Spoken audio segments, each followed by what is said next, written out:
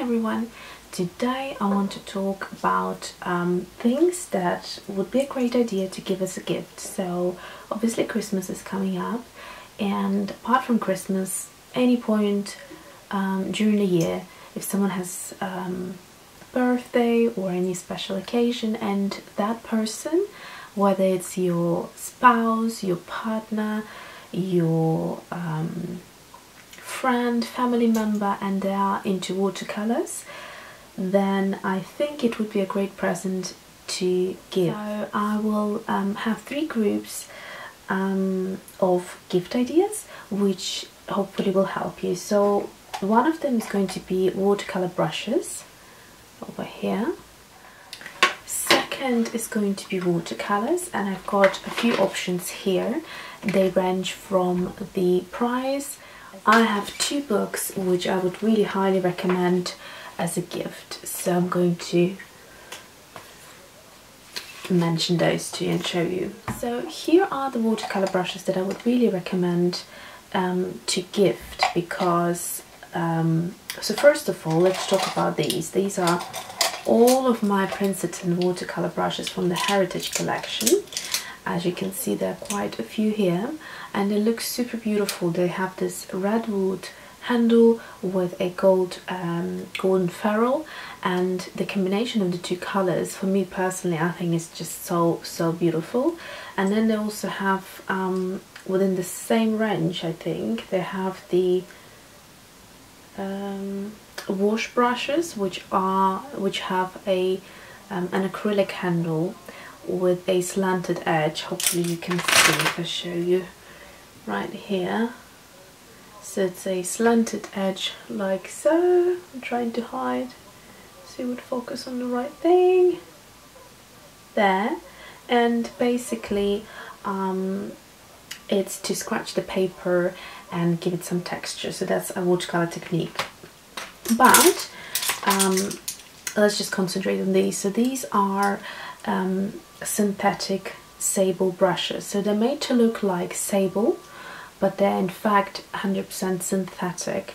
They um, they have a great so the difference is sable are very soft brushes and they um, take a lot of moisture a lot of liquid in a lot of water obviously for watercolor you need water and um, then it's harder to control a real sable brush and you do have to have some sort of skills to do that and also depends on what um, style of watercolors you like but these brushes are designed so that they have um, a spring to them so they, they are easier to control they're easier to use and so they uh, are great. In fact I read that they were the first synthetic um, sable brushes introduced um, in history I think. So that's quite interesting. So they do have um, great sort of heritage um, to them heritage value. And so yeah they're great. As you can see there's a big variety here and I've been expanding my collection and I love using them. And the other type of brushes that I would also recommend and the price mark as well by the way sable real sable brushes are super expensive. Um, these are within I'd say an affordable range so I think I paid about 13 or 14 um, British pounds for this size 12 brush so it's quite reasonable um, a real sable brush would be quite a bit more expensive now let's talk about these. So these are the quill brushes and I'll take off their sleeves. I haven't used them yet just because I kept them um, for this video because I wanted you to see them brand new, what they look like. So these are quite interesting as well. So um, this particular brand is Jackson's and they are quite reasonable in terms of price um, trying to think I think about the same price range that I got these but again if you would go for 100% um, sable quill brush that would set you back quite a bit. They're quite expensive but um, these are great because they are actually a mix of real sable and synthetic sable and they um, are meant to hold a very big amount of water but have a very fine tip. So really you could just use one brush and go from detailing into washes etc etc it's meant to be quite special. And as you can see the ferrule is quite different. I'll turn it towards you so you can see. The ferrule has this um, transparent plastic wrapped around and then it has the metal wires um, holding the bristles together and it's quite quite special I think um, I'd say. And also the um, the handles are wooden. So this is the size 2 and this is the 10 0 so also when you're buying these brushes online you would assume that they um, are the same in terms of um, sizes as the classical brushes but I'll show you as a comparison. Here is a quill size 2 the black one and the Princeton the red one is the size 12 so you can see quite a big difference. So in fact if you went for a size 12 in quill it'd be a massive mop brush. So be careful when you purchase these um, online. Be aware of that. So that's um, for brushes. Next thing let's talk about watercolors. And I'm actually going to show you something in a bit. So first of all I would really highly recommend this um, Finetec handmade German watercolor. So they're really beautiful to look at. Um, the palette maybe isn't too special because it's plastic and doesn't look too special, but it's quite convenient because it's long, it's thin, it's um, very light, so it's easy to take with you if you're on the go and to store at home as well. It doesn't take up too much space. I will um, also show you like so. So these are individual pans that you can take off like so. So they look like a tablet. And I'm not sure if you can buy them separately. I haven't researched that yet. But I assume you probably could since they are removable. And the other thing is if you need just one and you're on the go you could easily just clip it off and take it with you and then when you're back home put it back in. So that's a, a good um, little addition. They're quite beautiful as you can see. Um, how they are done I hope you can see. I'm trying to see what I'm showing you. So they have this beautiful texture and you get five different gold colors and you get a silver like um frosty kind of silver not a cool tone silver. And yeah they're great um, watercolors very beautiful. In fact from what I have researched these are um, highly regarded um, gold watercolors. So they are great quality and it's just something that not everyone has. And I think as a watercolorist you it would come come in quite handy to have gold watercolors because you can add details to your um, illustrations. I'll show you one if you haven't seen yet. Here is an example of the Frida illustration I did and here in the hair there is some gold I hope you can see and also if you add it into wet watercolor and make it um, flow then you get these beautiful marble effects. So that's that. Next one let's talk about is QoR. Now this is a brand that's new to me. It's not new to, to the market. Mm. So it's been around for a while, but the um, have I said it's American? If I haven't, it's American. It's um, quite great because it's very different to all the other watercolors that I have, and it is um, basically I'll show you first. Let's let's have a look at the tin. So, so I'm not too keen on the tin itself. I wish it was either just black or um, different design or a different color. Um, it kind of it doesn't appeal too much to me design wise um, but let's look inside. So you get this uh, top which you just unclick like this and that's good because you you don't have it attached. You have the flexibility of moving things around and make it comfortable for you. And then inside you get this little leaflet which um, shows you the entire collection of the watercolors which isn't too big compared to Schmincke or uh, Winsor Newton or Daniel Smith. Um, so and the other thing that I thought would would have been quite useful is if they had any pigment information on here or transparency or staining information because from this there is nothing there. All there is is just the number of the color um, and the name of the color and that is it. So but you do get some information on the tubes itself themselves. So inside you get um, six um, watercolor tube. So I actually didn't tell you but this particular set there are different sets and this one is called High Chroma it's on the lid right here. So it's High Chroma and it's got these beautiful six colors right here. You can see.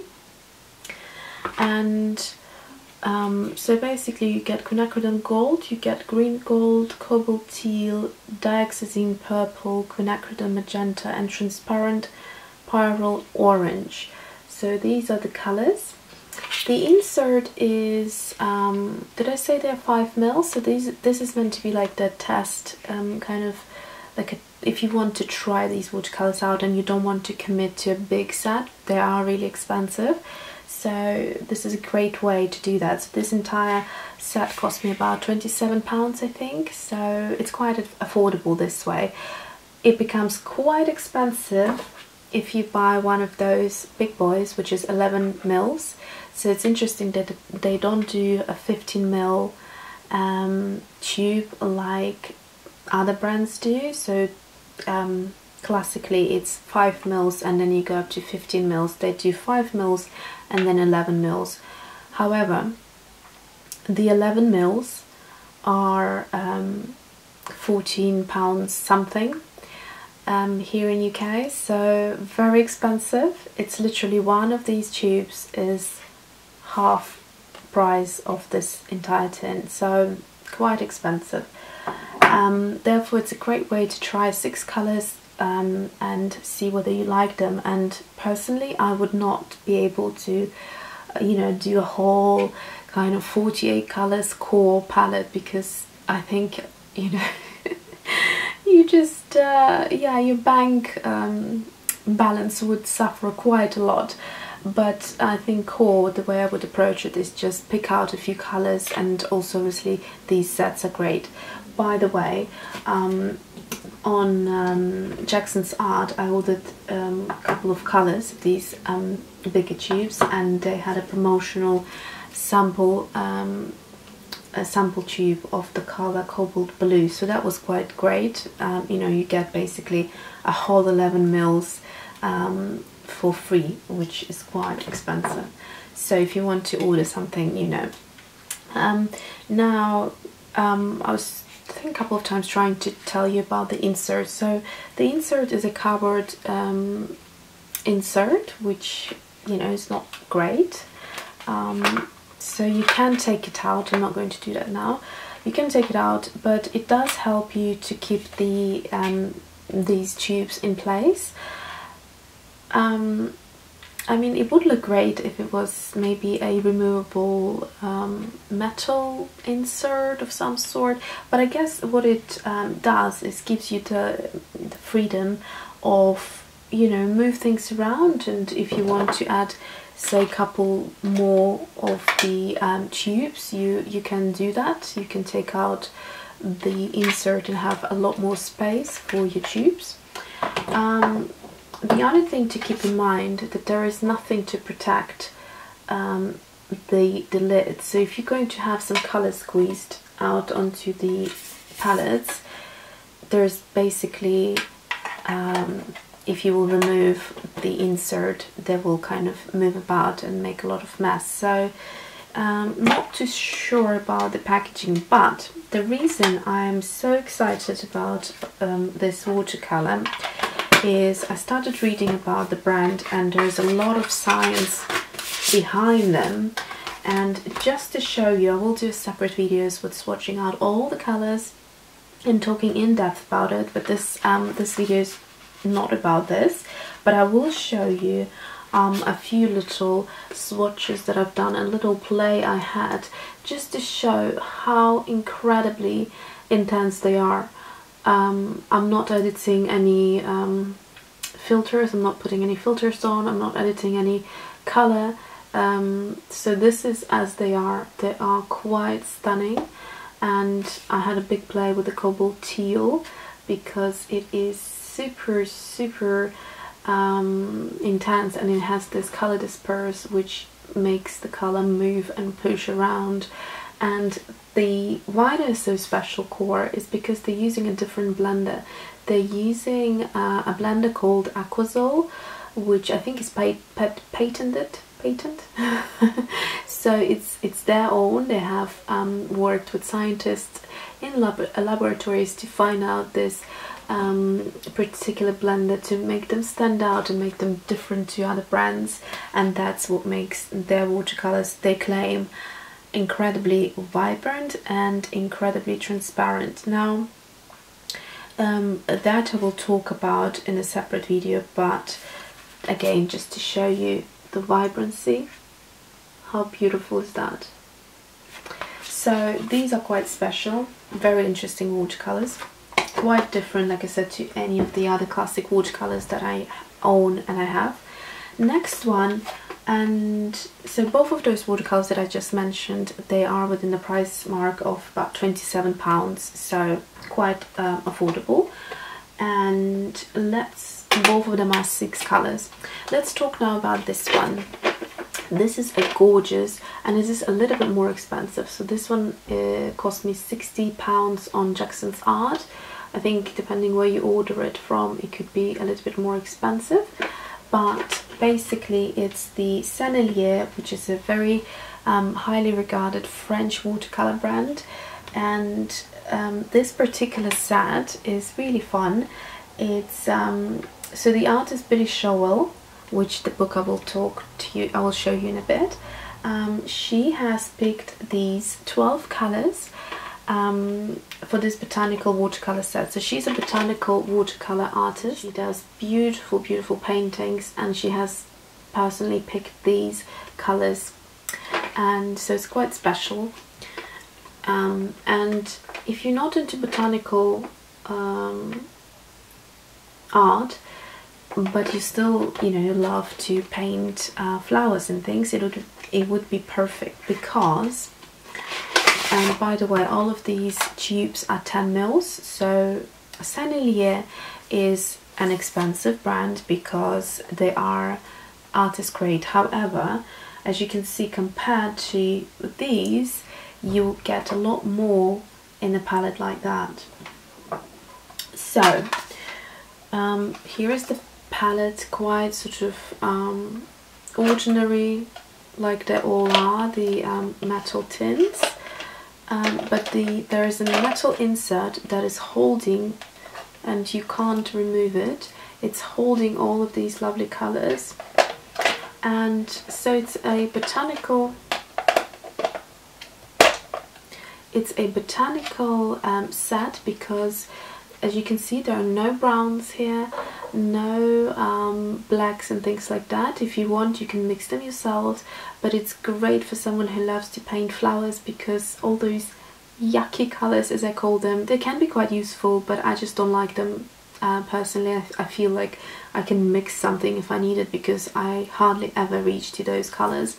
So you get three blues three yellows one orange four pinks and a purple Personally, again, you can easily um, mix a purple with the blues and the pink, so I would rather have another pink here. That's just my personal opinion, but I think the, the color range is beautiful.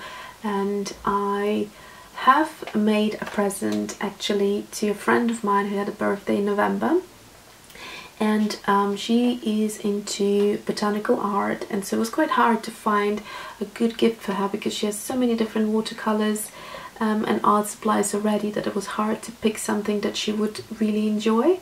And I did find out that she didn't have any Sennelier um, watercolors so that's where my search began. And then when I found that um, Billy Showell created this um, set I thought it would be such a fitting gift.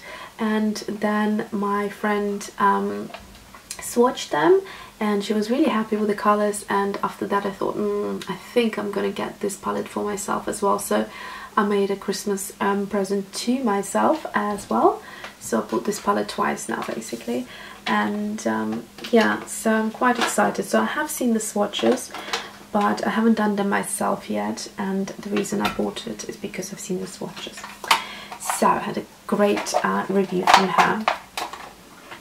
And finally let's talk about the book. So as I just mentioned Billy Showell I actually had her book already so I hope you can see from here.